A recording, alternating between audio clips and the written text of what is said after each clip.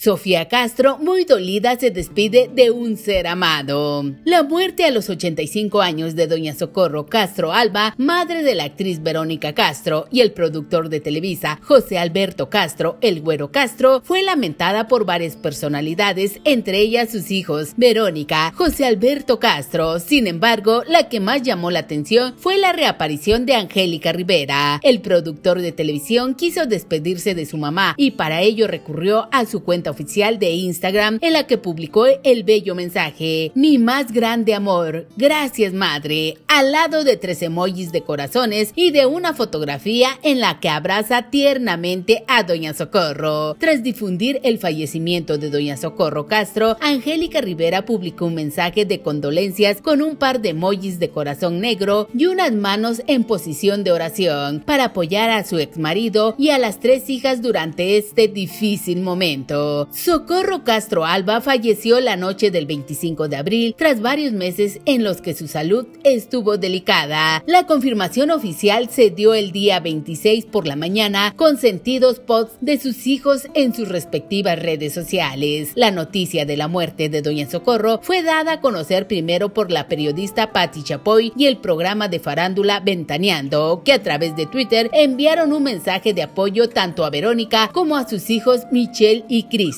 Además, Sofía Castro se sumó a los tristes mensajes de despedida para su abuela. A través de sus historias publicó una serie de imágenes de momentos que compartió con Doña Socorro. Minutos más tarde compartió algunas fotos en su cuenta de Instagram, acompañadas de un sentido mensaje en el que lamentaba su pérdida. En medio de una pandemia perdí a mi abuela, la más bonita, la de los ojos azules, el gran amor de mi papá y nuestra abuela incondicional para nosotros siete, porque siempre estuvo sin importar que siempre nos contestaba el teléfono diciéndote que le alegraba el día tu llamada, siempre nos daba los mismos consejos, que nos cuidáramos porque éramos el tesoro más grande que mi papá le había dado, que por nada del mundo dejara de perseguir mis sueños, que no hiciera caso a comentarios feos, que me pusiera mascarillas en mi pelo y que lo más importante era que me cuidara el cuello porque era lo que más rápido se